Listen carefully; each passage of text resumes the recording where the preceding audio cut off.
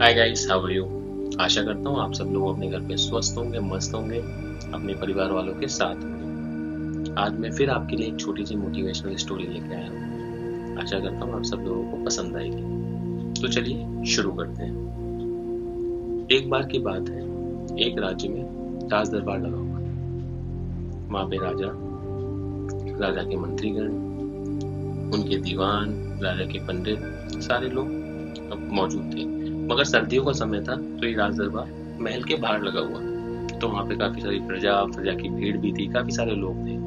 तभी उस भीड़ में से एक व्यक्ति निकल के आता है और कहता है कि मेरे पास एक समान जैसी दो चीज़ें हैं, मुझे राजा जी की परीक्षा लेनी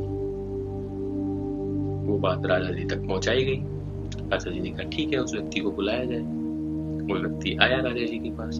राजा जी ने पूछा, बात क्या है? वो व्यक्ति बोला दादाजी, मेरे पास एक समान आकार की एक जैसी दिखने वाली दो वस्तुएँ हैं, मगर उसमें से एक हीरा है और एक कांच का टुकड़ा है। मैं आपकी परीक्षा लेना चाहता हूँ और देखना चाहता हूँ कि आप उसको पहचान पाएँगे या नहीं पहचान पाएँगे। मैं काफ़ी सारे राज्यों में गया हूँ, वहाँ की काफ़ी सारी राजाएँ उसको पहचानने में असफल रहे हैं। तो मैं देखना चाहता हूँ कि आपके राज्य में कोई ऐसा बुद्धिमान व्यक्ति है जो इसको पहचान पाए। यदि अगर ऐसा हुआ, आपके राज्य में किसी ने भी इस को परखा कि कौन सा असली हीरा है, कौन सा नकली हीरा है तो मैं ये हीरा आपके राजकोष में जमा करा दूँगा। मगर यदि ऐसा नहीं होता है तो आपको उस हीरे के बराबर का जो भी मूल्य है, वो मुझे इनाम के तौर पर देना पड़ेगा। राजा जी राज़ी हो जाते हैं उस चीज़ के ऊपर। फिर राजा जी के सामने एक मेज लगाई जाती है। उस मेज के ऊपर वो व्यक्ति एक नकली हीरा, एक असली हीरा दोनों रख देता है। राजा जी अपने दीवान, मंत्रीगढ़ सबसे कहते हैं, आइए चेक करिए। सारे लोग टेंशन में रहते हैं, घबराते हैं, कोई आगे नहीं आना चाहता। उनको डर लगता है कि हमने गलत बता दिया और राजा जी हार गए तो राजा जी अपना गुस्सा, हार का गुस्सा हम लोगों पे निकाल देंगे। वो काफ़ी सारे लोग डर रहे थे, कोई भी आगे नहीं आना था। तो राजा जी भी परेशान हो रहे थे कि अब क्या होगा। प्रजा भी देख रही थी, प्रजा भी टेंशन में थी कि लगता है कि आज राजा जी गए और राजा जी का सम्मान गया। तभी उसी टाइम भीड़ में से एक अंधे बाबा की आवाज़ आती है कि मैं कोशिश करना चाहता हूँ। वो बात राजा जी तक पहुंचाई गई। राजा से बोला कि एक अंधे बाबा है, वो कह रहे हैं कि वो कोशिश करना चाहते हैं। राजा ने कहा, ठीक है, वैसे भी तो कुछ हो नहीं रहा है तो आप उनको बुलाइए, कोशिश करके देखते हैं क्या होता है। वो बाबा आए। उन्होंने एक मिनट के अंदर पहचान के बता दिया कौन सा असली हीरा है, कौन सा नकली हीरा है। और उन्होंने असली हीरा उठा के दादाजी को बताया कि ये असली है। सब लोग चौंक गए कि ये ऐसे कैसे हो गया।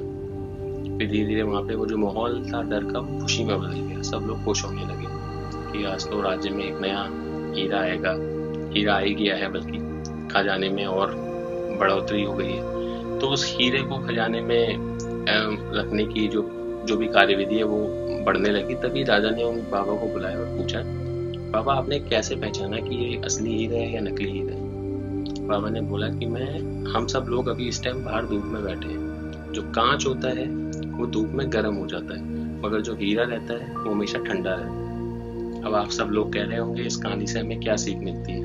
मैं बताता हूँ, इस कहानी से हमें ये सीख मिलता है, कैसी भी आपदा या विपत्ति आ जाए, या जैसे भी हमें शांत रहना चाहिए। हमें गुस्सा नहीं करना चाहिए। आजकल की ज़िंदगी में हम लोग क्या है कि छोटी छोटी बातों पर बड़ा गुस्सा करने लगते हैं। इससे हम अपने परिवार वालों से और अपने दोस्तों से थोड़े दूर होते चले जाते हैं। वो लोग रूठते चले जाते हैं। हम लोग अकेले होते चले जाते हैं। तो कहीं ना कहीं हमें थोड़ा अपने गुस्से पे कंट्रोल करना चाहिए। क्योंकि जो विपरीत परिस्थितियों में अपना आपा नहीं खोता और ठंडा रहता है, वही सिकंदर होता है। मोरल ऑफ़ द स्टोरी ये है, हीरे की तरह ठंडे रहिए। मुस्कुराते रहिए और प्यार बांटिए। आशा करता हूँ आप सब लोगों को यह स्टोरी समझ में आई होगी, पसंद आई होगी। अगर अच्छी लगे तो लाइक शेयर कमेंट ज़रूर करिएगा। Thank you